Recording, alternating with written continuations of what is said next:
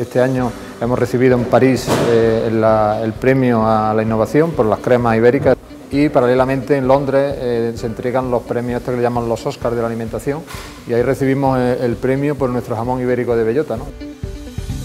Fuimos con cierta, mm, con cierto miedo a que, bueno, a que no sirviera para nada, pero bueno, al final tuvimos suerte, fue una sorpresa y bueno, contentísimos. Y segundo porque la zona de los Pedroches ya ha sido reconocida a nivel mundial.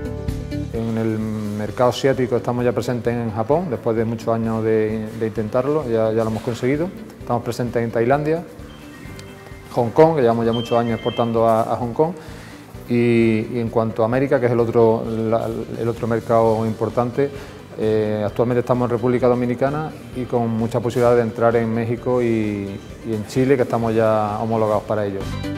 Es un equipo humano muy bueno, eh, se trabaja a gusto, eh, la zona donde, donde estamos es, maravillosa y, el sector me gusta.